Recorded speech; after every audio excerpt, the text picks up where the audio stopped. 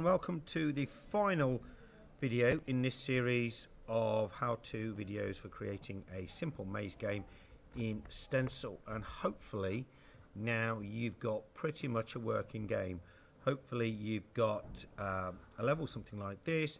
You've got a, mo a, moving player character who can who can collect objects uh, who's pursued by an enemy character and then when the objects are collected an exit appears.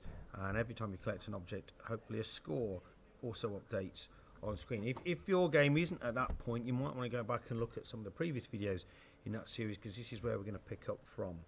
And it, what we'd done in our last video is we just got to the point where we'd added the, the code to make the door appear when the key cards have all been collected.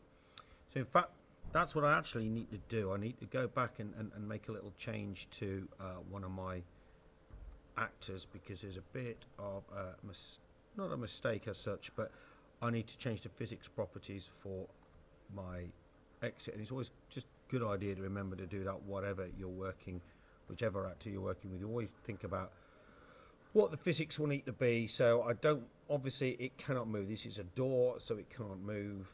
And if we set it to can't move it negates all the issues with rotating and gravity and stuff there so what all I need to do is a really simple final bit of code which I'm going to add to my player and I'm going to create a new event that will simply allow me to check to see whether the player has collided with the door and if they've collided with the door it means that they, they, they've exited the level and then they can win.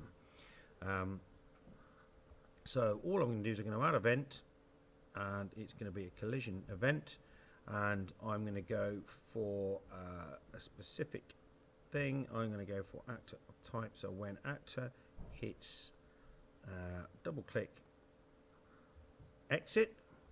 And what do I want to happen? What I want to happen is that I want the scene to appear.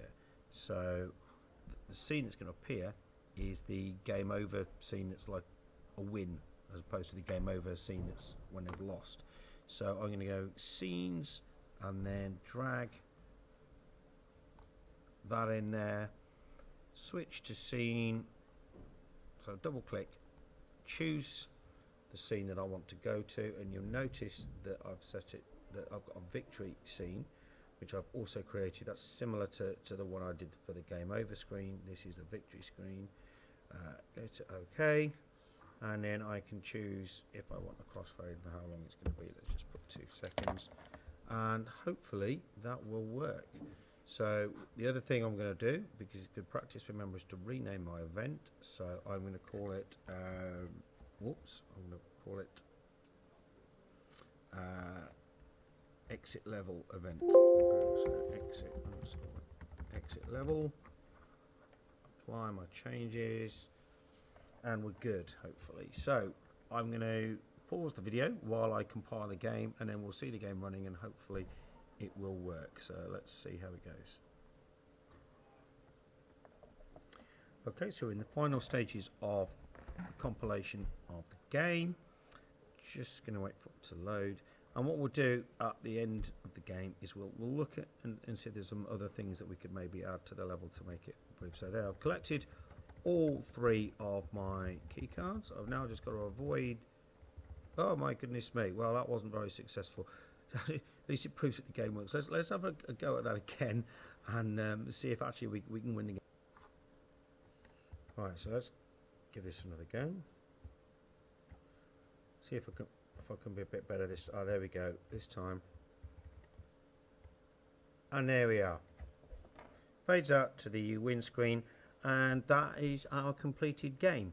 So obviously at this point now we, have had a walkthrough Stencyl right from the point of, of, creating your first graphics to designing a level to managing your collisions, adding extra characters, scoring um, and you should now be at the point where you're familiar enough with how Stencyl works to be able to experiment and play with some other features.